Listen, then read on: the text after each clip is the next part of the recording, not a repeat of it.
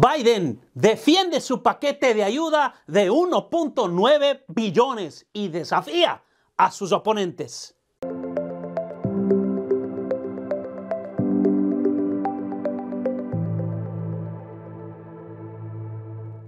Bienvenidos a un nuevo video. Si usted no se ha suscrito en este canal, suscríbase y no olvide de darle un me gusta.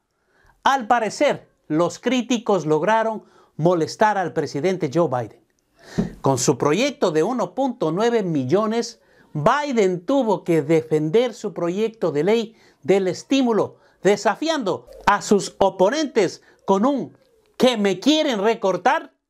El presidente dio estas declaraciones cuando se encontraba en una planta de fabricación de Pfizer en Michigan. El mandatario expresó que su plan necesitaba esta cantidad de dinero porque la factura coincidía con el tamaño de la necesidad de todo el pueblo norteamericano. Biden dijo que los críticos comentan que su plan es demasiado grande porque cuesta 1.9 billones de dólares. Entonces expresó lo siguiente, ¿qué me harían cortar? ¿Qué quieren que deje afuera? Y lo recalcó, estos son los Estados Unidos de América. Por el amor de Dios, invertimos en personas y sus necesidades. Biden ha puesto esta cantidad para solventar gastos como 290 mil millones para extender el seguro de desempleo, 20 mil millones para las vacunas, 50 mil millones para la pequeña empresa, 130 mil millones para escuelas, y 3 mil millones para programas de nutrición, como también los pagos esperados, el pago de estímulo de 1.400 dólares. Mientras tanto, el republicano Steven Scalise expresó que los demócratas no tienen interés en abordar el alivio del COVID-19 de manera oportuna y específica, ya que están utilizando el proceso de reconciliación para atascar la agenda liberal. Como era de esperarse, Biden expresó que la mayoría de estadounidenses desea que se actúe de manera grande, rápida, concisa, precisa y efectiva, y que se apoye al plan. ¿Y usted qué opina, amiga, amigo, sobre estos ataques verbales y el plan de ayuda? ¿Cree que el gobierno está haciendo bien o mal? Suscríbase a este canal. Aquí vamos a analizar con usted. Cuéntenos en los comentarios. En otras noticias, la vicepresidenta Kamala Harris comentó que las mujeres abandonan la fuerza laboral debido a la pandemia. Grave. Kamala dijo que 2.5 millones de mujeres dejaron sus empleos al comienzo de la crisis. De acuerdo a los datos por el Departamento de Trabajo, esta cifra es mucho más elevada. Con relación a los hombres, ya que 1.8 millones de varones han dejado sus empleos por la fuerza laboral. Según el estudio, esta situación se ha dado ya que muchas madres han tenido que enfocarse en el cuidado de sus hijos por la pandemia que ataca y ataca y ataca a la nación más poderosa del mundo y estamos perdiendo. Casi medio millón de muertes. A esto se le suman los despidos, licencias y una economía sumamente golpeada.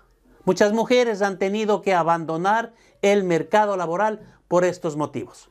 La vicepresidenta ha enfocado su preocupación. Kamala dijo, este es un cuadro terrible de la realidad que se enfrentan millones de mujeres estadounidenses para poder hacer frente a la pandemia provocada por el coronavirus. Harris expresó que la economía no puede recuperarse por completo a menos que las mujeres vuelvan a participar plenamente. Esto lo comentó en una reunión realizada por videollamadas con grupos de defensa de las mujeres.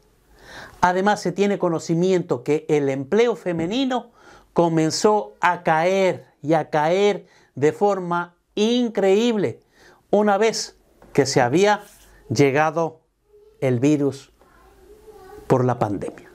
En un informe realizado por la Universidad de Arkansas en el Centro de Investigación Económica y Social de la Universidad del Sur de California, las mujeres que no tienen un título universitario y las mujeres afroamericanas se han visto afectadas de manera impresionante.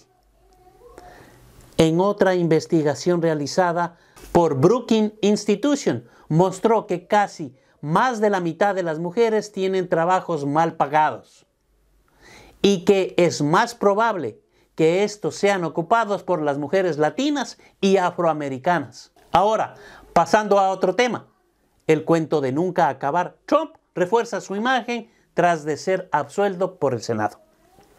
Parece ser que la figura del expresidente ha vuelto a retomar fuerza y está sonando de nuevo el rumor que existía de la posibilidad de que Trump se presente a las elecciones presidenciales de 2024, tal como él dijo en reiteradas ocasiones.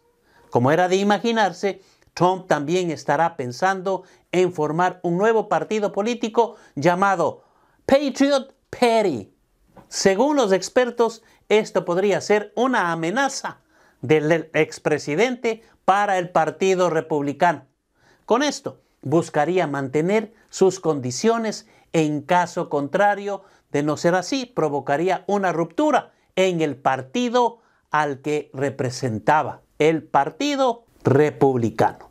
Trump, al ganar su juicio, expresó, nuestro movimiento histórico, patriótico y hermoso para ser de Estados Unidos, grande, de nuevo, solo acaba de empezar. ¿Qué opina usted sobre estos temas? Escriba su opinión y comentarios. No olvide de darme un me gusta y suscribirse a este canal. Muchas bendiciones y le espero en el próximo video. Muchas gracias.